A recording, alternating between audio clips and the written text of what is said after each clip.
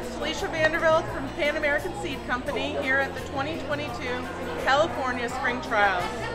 Right here I have with me a tabletop tomato we call Siam.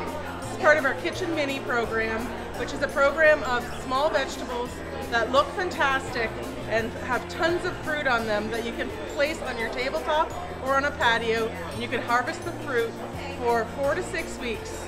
Our slogan is buy, eat, and repeat.